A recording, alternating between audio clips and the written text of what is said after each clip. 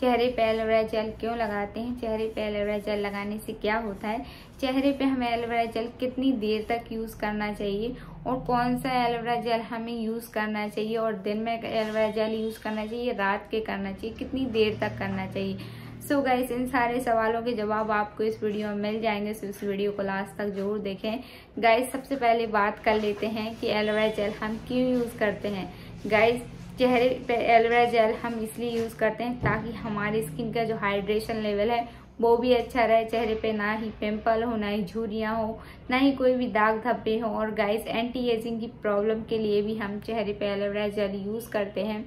क्योंकि एलोवेरा का जो जेल होता है, वो बहुत ही प्योर होता है, एंटीऑक्सीडेंट से भरपूर होता है और हाइड्रेशन लेवल इसमें बहुत ज़्यादा होता है। एंटीसेप्टिक प्रॉपर्टी भी उसमें होती है।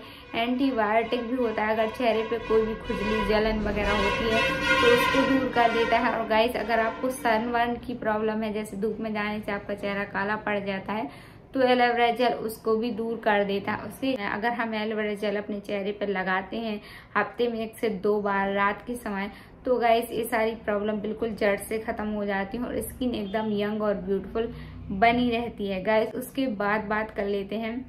कि हमें एलोवेरा जेल को कैसे यूज़ करना चाहिए चेहरे पे। सबसे पहले आप अपने घर में लगाए हुए जो एलोवेरा जेल होता है ना, उसका एक टुकड़ा तोड़ के ले आइए। मतलब एक पत्ती आपको तोड़ के लानी है, उसको अच्छे से धो लीजिए वॉश कर लीजिए। थोड़ी देर के लिए उसको रख दीजिए और जो उसमें येलो एलो कलर की जेल निकलती है ना, पीले कलर की, उसको बिल्कुल अच्छे से धो धो के निकाल दीजिए। बिल्कुल एलोवेरा जेल, बिल्कुल पानी की तरह दिखना चाहिए, उसमें कोई भी येलो पार्ट नहीं होना चाहिए। और चेहरे पे एलोवेरा जेल को कैसे लगाया जाता है उसके लिए क्या करना चाहिए? सो so, सबसे पहले आप अपना चेहरा फेस वॉश की हेल्प से अच्छे से धो लीजिए फेस वॉश या साबुन की हेल्प से। आपका चेहरा बिल्कुल क्लीन होना चाहिए कोई भी गंदगी आपके चेहरे पे नहीं होनी चाहिए। सो so, गाइज़ वही आपको एक टुकड़ा लेना है और अपने फेस पे उसको लगाना है। गाइस पाँच से दस मिनट तक अच्छे से मसाज करनी चाहिए। एलोवेरा जेल हमेशा नाइट में ही लगाना चाहिए। एलोवेरा जेल से स्किन की जो हाइड्रेशन लेवल जो बहुत ज़्यादा कम हो जाता है स्किन बहुत ज़्यादा ड्राई हो जाती है वो उसको कम कर देता है। स्किन यूथफुल और यंग बनी रहती है। झुरियों की प्रॉब्लम खत्म हो जाती है।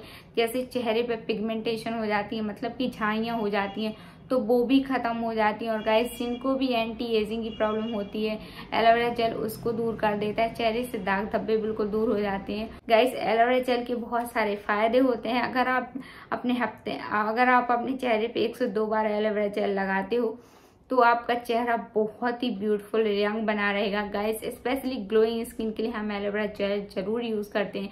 एलोवेरा जेल से मसाज करने से हमारी स्किन बहुत ही यूथफुल और यंग होती है गाइस एलोवेरा जेल बहुत ही अच्छा होता है।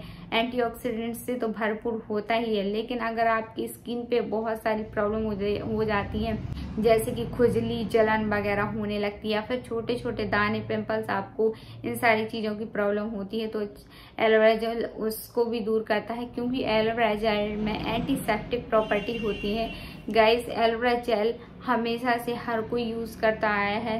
गाइस अगर आपके घर में आपकी मम्मी होंगी या दादी या नानी होंगी उनने भी कभी ना कभी एलोवेरा जेल यूज़ किया होगा और आप भी करते हो क्योंकि एलोवेरा जेल के इतने ढेरों सारे फ़ायदे हैं लेकिन उसको यूज़ करने का सही तरीका पता होना चाहिए। गाइस एलोवेरा जेल के इतने सारे फ़ायदे होते हैं तो आप भी आप ए, आप भी एक बार एलोवेरा जेल को यूज़ करके देखिए। आपको भी पता चलेगा कि कितनी अच्छी होती है एलोवेरा जेल